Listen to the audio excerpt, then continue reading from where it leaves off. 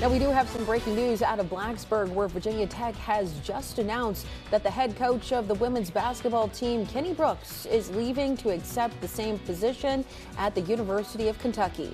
Brooks built a successful program for the Hokies for, with four straight NCAA appearances and the ACC championship this year. He compiled a 180 and 82 overall and took the team to the program for its first ever Final Four appearance last season. Virginia Tech Athletic Director Whit Babcock said the school will start an immediate national search for the Hokies' next women's head coach.